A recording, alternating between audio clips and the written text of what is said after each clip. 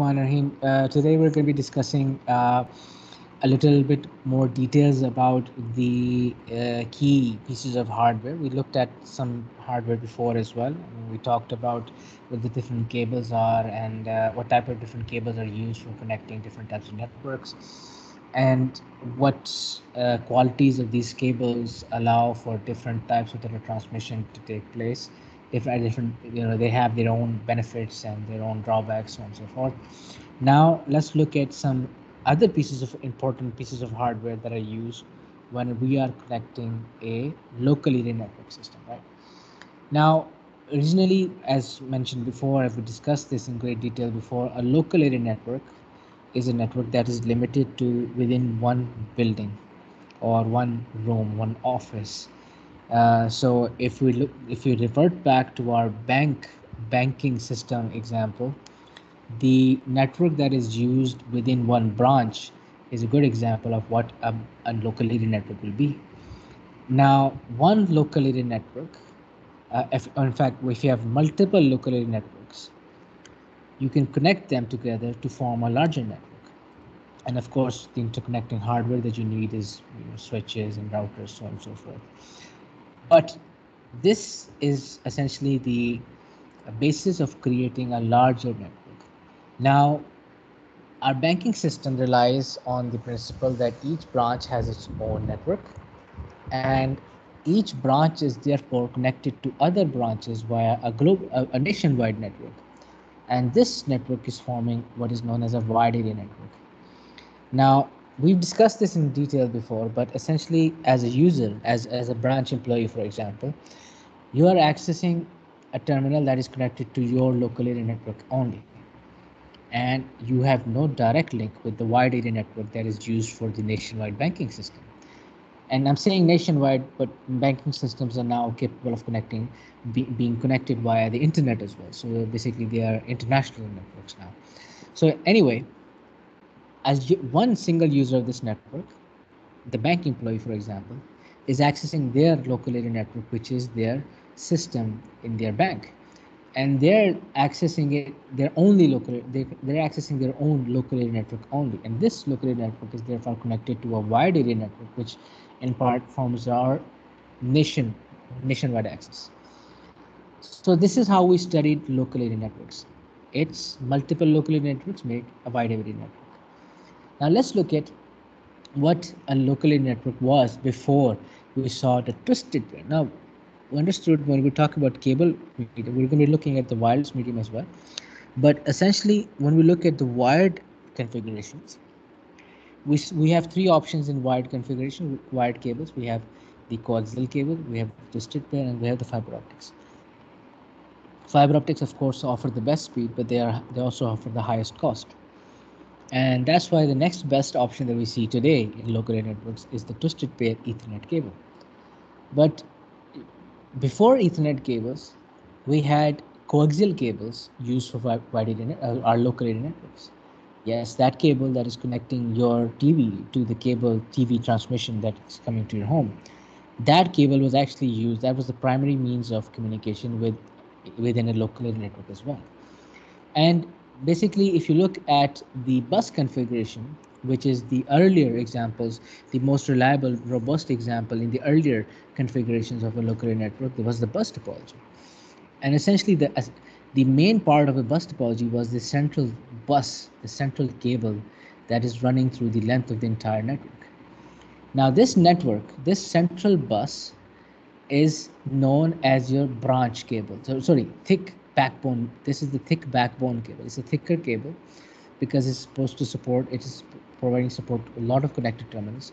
So it has to be slightly thicker and allows for more data transfer, higher bandwidths. Now this central thicker cable is known as the main backbone cable. This is the main backbone cable. Each computer or terminal, this is one terminal here, is connected to this central branch cable, sorry, uh, backbone cable with another thinner cable which is known as the branch cable. So each terminal has its own branch cable that connects to this backbone cable. So this is my branch cable and this is my backbone cable. So apparently this branch cable does look thicker than the backbone cable, but that's in reality, this is just diagram. In reality, that's not the case. The backbone cable is thicker as opposed to the branch cable. Okay, this branch cable is connecting this terminal with this backbone cable through a device that is known as the T connector. This is the T connector right here. And as you can see here, all computers, all terminals, it could be a printer as well, for example, all terminals that are connected to this main cable here are connected through the T connector.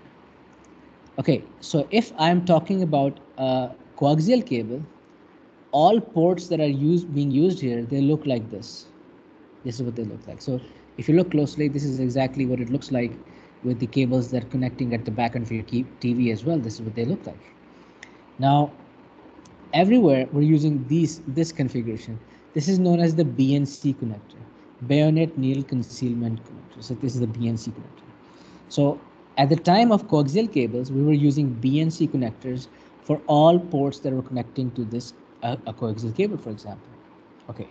Now, at the ends of this bus cable, we have what is known as a terminator.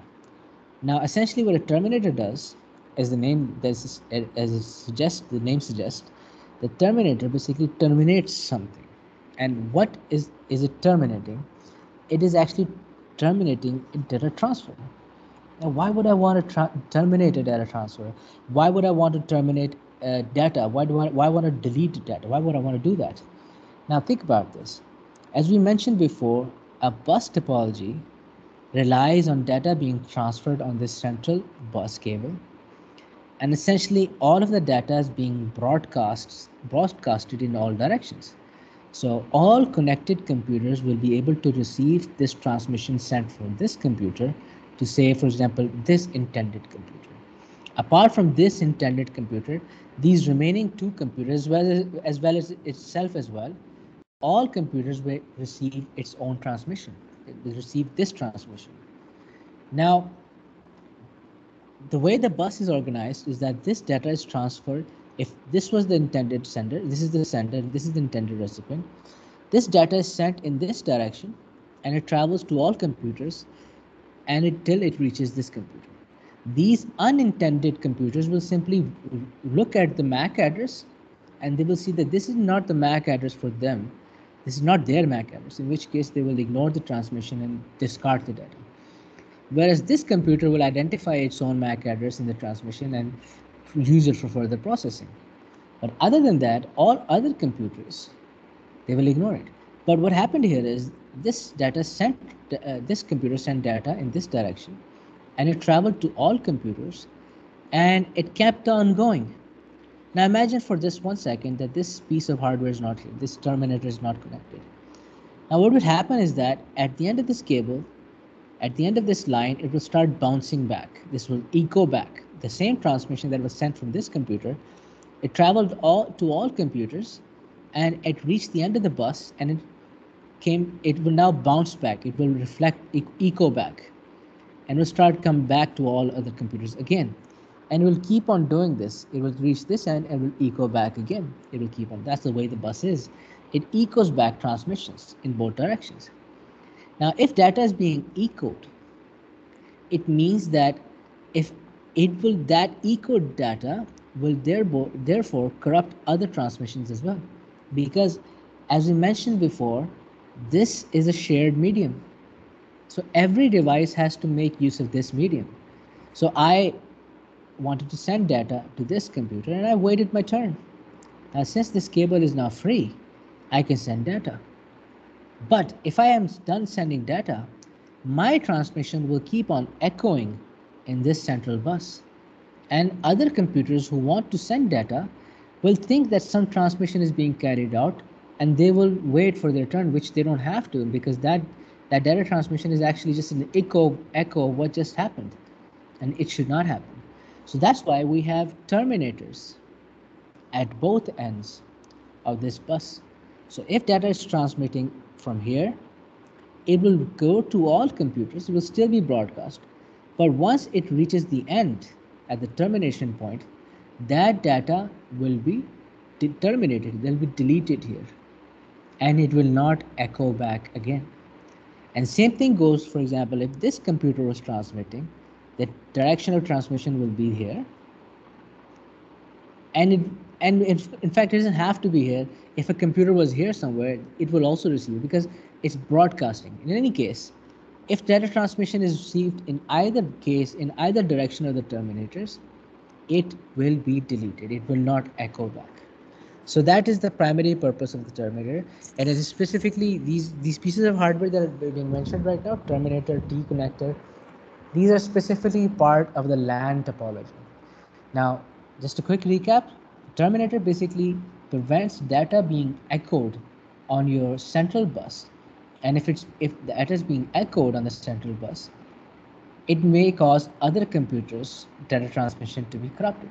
So that's why we have to add terminators on both ends to make sure the data does not echo back. Now, if you look at the BNC connector, this is the T, T connector for coaxial cables. As you can see here, this is exactly what it's supposed to be here. This is the end where I connect the terminal, and these two ends are where the bus is supposed to be passing by. Now, this point looks like your the back of your TV because this is a BNC connector. This is where the coaxial cable used to connect. And as you can see here, this is my BNC connector terminal. This is the BNC terminal. So I connect the cable on this end and on the other end, there's nothing there. It's not going anywhere. There's no outgoing cable. So basically it just comes here and never leaves. It terminates here. This, the data is completely destroyed here The transmission is lost here because there, it doesn't have to go anywhere ahead of that. So this is the purpose of a terminator over here. And we have both of these at both ends. We have two of these on both ends of this bus. Okay, and mother, another interesting part of your of a of any network is what is known as the network interface card. This is my network interface card. The major purpose of a network interface card is to allow a computer, any computer, to be able to connect to a network. Now, modern computers, modern laptops, for example, they have network interface cards and they are primarily focused on communicating via Wi-Fi, and that's okay. But earlier computers and even some computers and their extenders, if they want them, they come equipped with network interface cards that are capable of connecting to Ethernet cables. Now, as you can see here, they will have some port that looks like this. That's the Ethernet port. So basically what a network interface card does is that it's the piece of hardware that allows communication with my computer with a network. So if you don't have a network interface card, you don't have two things. One is that you will not be able to, you don't have the ability to connect to any network, not the internet, not any network, not even the local, not even a local area network. So if you want to connect to a network, you need the hardware that allows you to do that. So that's your network interface card. And the second thing you will not have if you don't have a network interface card is a MAC address. So basically the MAC address we refer to so much is basically not your computer's address, but it is actually linked with your, eh, with your network interface card. So if you go ahead and change your network interface card, that means a new MAC address will become part of your computer. It's that simple because that address is not linked with your computer, but it's linked with your MAC address. So that is the option that is the no it's not that's the necessary piece of hardware that you need to be able to connect to any network now the exact same things now let's look at what it what it eh, what the configuration for your coaxial cables look like. So this is one sorry this was the coaxial cables. Now what it looks like for twisted pair. Now this is the twisted pair. Now twisted pair cables have two options. This is the rj11 size and this is the rj45 now you are familiar with this cable. This is that cable that connects your landline phone with the uh, you know with your receiver and you have another line that's coming at the back of your from your main cable outside. So this is basically that cable. This is that connector. This is the rj11 still being commonly used for your locally uh, sorry for your landline phones. Whereas this is another variation of the uh, twisted pair cable. And this is your rj45 and this is your commonly known as your ethernet cable. And this is what's being used right now more commonly in your local area networks. So this is the RJ configuration using the, the twisted pair. And this is what looks like in the same uh, style. This is what a terminator looks like for an RJ configuration. As you can see here, it just goes in and there's nothing coming out on the other end. So it basically just discards data that comes into its way. So this is the terminator for an RJ uh, for your twisted pair configuration. So earlier representations of your uh, bus uh, of your LANs were implemented through coaxial cables. Then we shifted towards twisted pair, and that's why we are we're commonly using your RJ11 and RJ45 configuration. And now that we since moved on for your fiber optics, there are different connectors for that as well. Now let's just look look through some details regarding this network. Uh, we have the central thick main cable that we already saw that. We've got these T connectors that are you connect your thinner cables with the main backbone cable and through your thinner cables your terminals are connected. Uh, the end of the bus we have terminators. Terminators basically mean that signals can be reflecting down the prevented from reflecting down the bus and if it does reflect down it will cause other transmissions to be uh, corrupted Terminator, a little bit details on terminators. Data can be sent in one direction at a time. As soon as the data data reaches the extreme end of the terminator, removes the data from the line to avoid any further collisions. These are the two types. This is the RJ45 and this is for your uh, coaxial cable, the, the BNC connector. A, a bus can be, now this is interesting, a bus can be extended by two buses linking two buses together using a repeater due to attenuation over long distances. So if you want to exceed the central bus to allow for more computers to connect it, you can do that by adding a longer bus to it. But of course, since you got now a longer bus to it and the biggest problems with our copper-based data transfer uh, mediums was attenuation. Now what attenuation was, that signal becomes weaker over longer distances. So if it's a coaxial cable, attenuation has the most effect twisted pair has lesser effect, but it does affect it.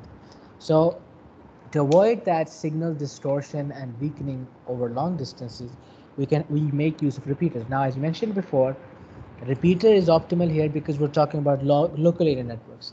And within a fixed building, specifically like a local area network, within inside a building and with fixed locations, repeaters perform better. As opposed to in mobile environments, your amplifiers do a better job. So right here, since we're talking about local area network, repeater should be a better choice here.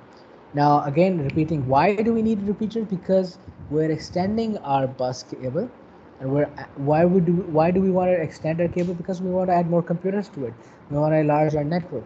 So that's one of the benefits of your bus topology. It's very easily scalable, and by scalable, it means that it becomes larger over time. But of course, I will have to take into account that the basic cable loses its signal strength over some distances because of which we will need repeaters to make sure that signal does not become weak. Now using bus networks it is also possible that I may want to connect multiple local area networks together. So one very one option that we just saw is that increasing the length of the bus and adding more computers to it that's okay but that's then that's just only still one network but what if i have two networks and i want them to work together as a single network in that case, I need what is known as a bridge. Now, basically, this is what a bridge is. I have two local area networks. I've got a LAN A and a LAN B, and these both networks combine together to work as a single as a single network. Now we have a central device here. This is known as a network bridge. Now, this network bridge essentially is called a bridge because I'm bridging. This process is known as bridging. I'm bridging the gap between two separate networks. A network bridge is a computer networking device that creates a single aggregate network of or network segments. Oh, sorry, aggregate network from multiple communication networks or network segments. This function is called network bridge. Now, this bridge primarily does what? It connects multiple networks together to make it larger network. Apart from that, it also has something a bus network may be constructed in form of segments. Each segment will be constructed together by a bridge. Each the bridge stores MAC addresses, a network address or MAC addresses of the end systems in the two segments it is connected in which is known as the bridging table. So essentially this bridge is maintaining the record of all of these computers that are connected, not only one network, but all computers that are connected to all networks that are part of this person. And it has MAC address because it's local network, MAC address is significant here. And it maintains those list of addresses in what is known as a bridging table. Okay, so this is these are just few pieces of hardware that we like. Okay, now one thing we also need to make sure is the, what is the difference between segments and different networks. So essentially, if you have, you know, you are increasing the size of a network and you want to increase the size of it in, through segments, those are segments of a network. But on the other hand, if you have existing networks and you want to work, make them together, so you, they, you have separate networks. In either case, if you're creating segments of network, you're creating networks, smaller networks, and you want to work, want them to work collectively as a larger network, you will need what is known as a bridge. Okay, so last thing, the LAN port on the end system is part of the network interface card. So this is the LAN port, all computers have it. If it's a Wi-Fi, uh, well, Wi-Fi connected device, Wi-Fi enabled device, and Wi-Fi only device. Most mobile cellular phones, you know, mobile tablets and stuff like that, they don't have, you know, uh, ports and stuff like that, but they are capable of connecting to networks. In that case, they're relying on wireless networks. So you don't necessarily see any sort of ports there. It's just there. It's just up. It's working. The, the network interface card is working. But in any case, the port. If you see an active port on your computer, that port is definitely the that port that is connected to the network interface card, and it uniquely identify it identified by its MAC address onto a network. Uh, we will discuss later MAC address. Uh, it's discussed later in the course. So some basics for your bus topology local area networks. Now let's focus on what your star configuration looks like. Now again, we're still keeping up with the theme with respect to local area networks. Now this is an example of how star configuration works. Now if you remember that the major difference between your bus topology and your star configuration was that your bus topology had a central backbone cable and that allowed the connection of all simultaneously connected computers. Now, of course, since the medium was shared and to allow for a fair without any corruption of data transmission, we had to employ techniques such as the CSMA-CD. Now, this was very popular. This, this technique was very, you know, widely used because it was robust, it was cheap, it was easy to install, a relatively simple process. But this is what is now now used more more commonly. Now what is this? This is the switch star topology. Now the star topology makes use of a central device. Now this central device can be either a switch, a router or a hub. Now every computer, every connected terminal for example, has a dedicated link to this central device. So this for example, if this computer wants to communicate with this computer, it will send its message to the central switch and that switch will therefore forward it to this computer here. Now, one of the major differences between a switch and a hub is that a hub isn't capable of distinguishing between different intended recipients. So for example, if this computer wants to send it to this computer, and if this central device was a hub, it means that this computer sent it to this hub because that's the only thing it's directly connected to. And this hub will send it to all communicating devices, all the devices. So it's not distinguishing between who to send to, it just sends it to everyone. And of course, the intended recipients only then will they, they will further you know process the data, and the rest of the computers who were not intended recipients will simply proceed in deleting it. So, in a sense, how a bus topology works in broadcasting data you can say that the hub in fact you don't you can say that it really this is really the case here that hub broadcasts the data to every connecting device. Finally this is a router. We'll be looking at the router in more detail later on but router is basically you can say is a computer on its own. And because of its processing power it is capable of deciding which path to choose to reach the intended recipient and routers are basically the building blocks of our internet infrastructure that we are using right now. Okay, so this is the star device. We have a central device that is connected to each computer directly. Since there is a direct access to each the central device, there is no multiple sharing. There's dedicated link so we don't need CSMA-CD. CSMA-CD was primarily need for bus topology. Each end system has the ty same type of cable uh, with same connector, so all are using, for example, if one is computer is using is the RJ configuration cable, the RJ45 cable, for example, that means all computers will be using the same. This central device, uh, this will also be only recognizing the RJ configuration cable. The cables need to be longer than the bus as each end system has to be able to connect the central device. So that's one thing to keep in mind. The cables are probably lost longer because they may be located at different distances from the central device. So they have to accommodate that length as well.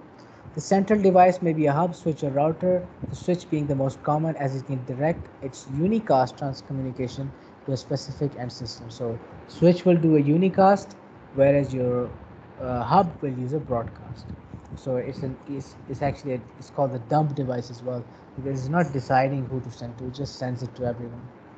Okay now let's check out what's happening with wireless. So so far we were looking at your wired LANs both bus as well as your uh, star topology. Now let's try to understand different pieces of hardware that are involved in the wireless LANs.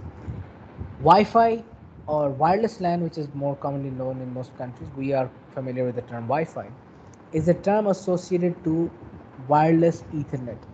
We'll be looking at the Ethernet protocol in a little bit detail uh, in this chapter. But if there are no wires involved and you're using radio frequencies, then that's a wireless Ethernet. It is formally known as the IEEE 802.11. So basically, IEEE is an institute for electronics and electrical engineers and 802 the mention we will see this term here again 802 is somewhere else as well. But 802 is a committee's name. That's a committee number 802 and their version number 11 that's this is basically the certification of wireless internet wireless LANs. I IEEE 802.11 certified under this code here. So this institute of electronic engineers Uh, uh, they their committee number 82 has approved the use of wireless LANs and this is the official uh, you know name for it uh, that certification. The standard uses radio frequencies for data transmission. The central device in a Wi-Fi LAN is a wireless access point. The wireless access point can communicate with an end system in the wireless LAN provided that the end system has a wireless network interface card. So obviously if you want to be able to use a wireless network, your device should have a wireless network interface card.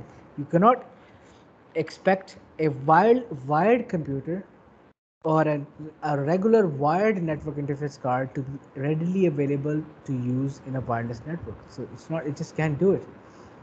It has wired, wired ports, uh, your Ethernet ports, and the only way you can access data for uh, you can you can give it access to a network is through that port. But if a computer or a device has a Wi-Fi enabled network interface card, that is known as a wireless network interface card. And what that means is that that particular device is capable of connecting to Wi-Fi signals that are provided within its range. Now, this is one term we saw here, wireless access point. What is the difference between wireless access points, which is this one, and a wireless router? So as you can see here, this wireless access point is providing a wireless network which is of course wireless. And I'm sitting for example I'm sitting here with my cell phone and I'm connected to the wireless access point. On the back end of this wireless access point you can see a cable is coming in and out of this device over here. And if we follow that cable it will take you to possibly a wired network. Or it can also be taking you to the internet so let's just say, just for example, there's this network here that is not connected to the internet yet. It's not connected to the internet. But it's a network, it's a local area network. And it existed, say, for the last 15 or 20 years. And that means since it's using old technology, uh, you know, ancient technology, legacy technology, it's primarily based on, you know, a wired network running on Ethernet cabling. Now, let's just say that in the same build office building where this wired network exists, I also want to set up a wireless network as well. And this is a new building. This is a completely new building. And I want to connect, I want, since it's a new building and I'm using newer technologies, I'm capable of using a Wi-Fi network to set up a local wireless LAN and that's okay, that's fine. But at the same time, I want this wireless LAN to be able to communicate with this wired LAN as well, because I want these both networks to communicate with each other, possibly some sh sharing some resources as well. So I want both of these networks, both Wi-Fi, wireless and wired networks, to work together. Now, that only way that's possible is that if I have a central device that allows your Wi-Fi network to be able to communicate with the wired network. Because other than that, any device on this wired network is not is not capable of transferring data via radio waves because they don't have wireless network interface cards. And these devices which have wireless network, network interface card may not necessarily have ports that are used commonly for wired networks. So that means I have to communicate somehow with this network, this network, with this network. Now, the way to do that is we allow for a wireless access point.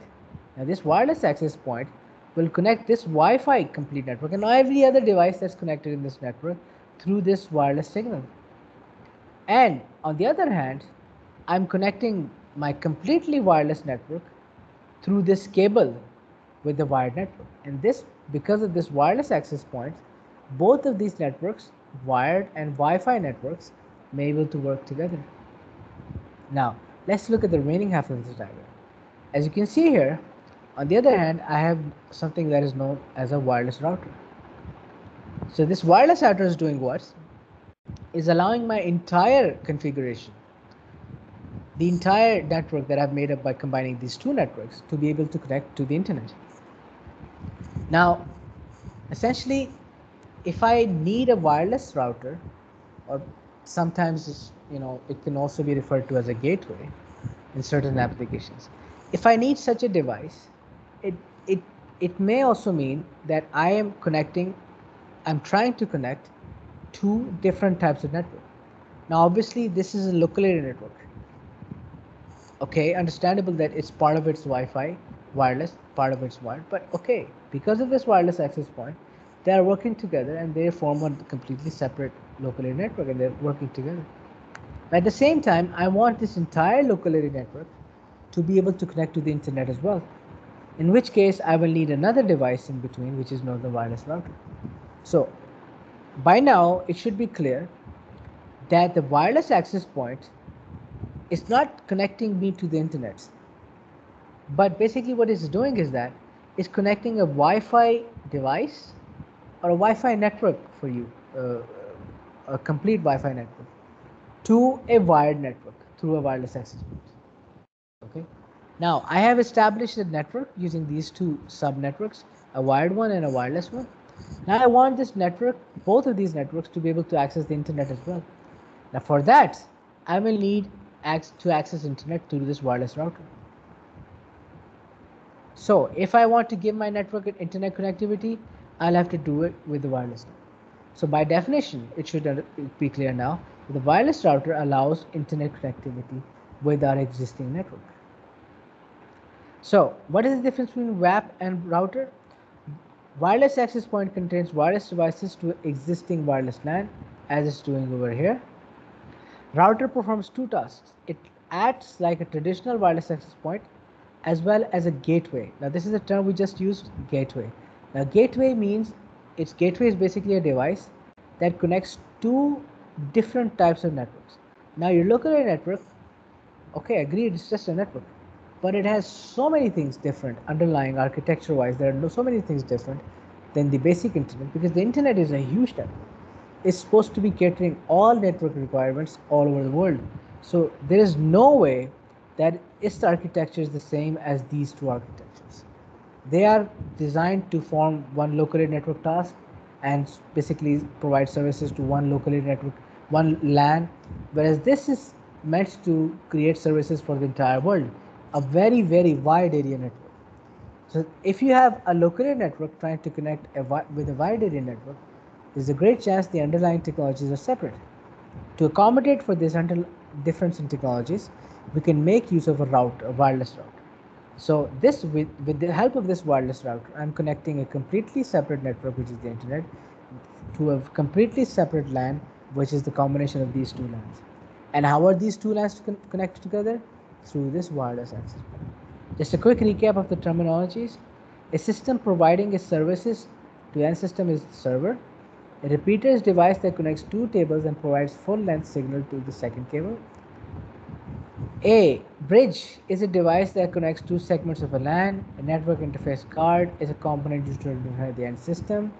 Switch is a connecting device that can be used to send a unicast message between the sender to switch to switch to just one intended recipient. Not only unicast, it could be broadcast as well. Only if, for example, I want this computer wants to send data to all computers, in which case it's broadcasting. It can also carry out multicasting, in which it is possible that I want to only send data to this computer, these two computers, in which case leave the rest alone, only send a multicast message to these two connecting devices. And also it can be unicast, that I send data to this Uh, router or you know central device, and this central device sent it directly to the intended recipient. So no innocent bystanders who will receive data and have to get rid of it in some way. Finally, we got a wireless access point that connects devi devices with a wireless LAN. So I've got wired devices that I want to connect to a wireless LAN. I will need a wireless access point. And wireless network interface card provides network interface, network interface card function of a Wi-Fi LAN. So it basically works as the same conventional network interface card that we just saw over here. But the difference is that now it's functioning for providing services to wireless networks as well. So in this lecture, uh, we covered the basic differences of how the LANs used to look like with, uh, when they were back in co using coaxial, coaxial cable as opposed to now when they're using Ethernet cabling. As well as we looked at the different pieces of hardware that make up a LAN, the important pieces of hardware. And if you want to, for example, increase the size of a LAN, what options do we have there, so on and so forth. After that, we looked at the different implementations of your successful uh, topologies with respect to wired configuration as well as wireless configuration. Now, in the following lectures, we'll be looking at Ethernet protocol and the Ethernet standard itself, as well as the CSMA CD and why it's not used. And hopefully after that, we'll start looking at the basic structure that's implemented using your uh, on the internet. There is no structure, there's no hierarchy on the internet except for this one thing that is known as your internet service provider. If there's a hierarchy, it's because of these guys over here. Otherwise, there's no hierarchy in the internet. There's no one single boss on the internet. Okay, so we'll be looking into this part later on, inshallah.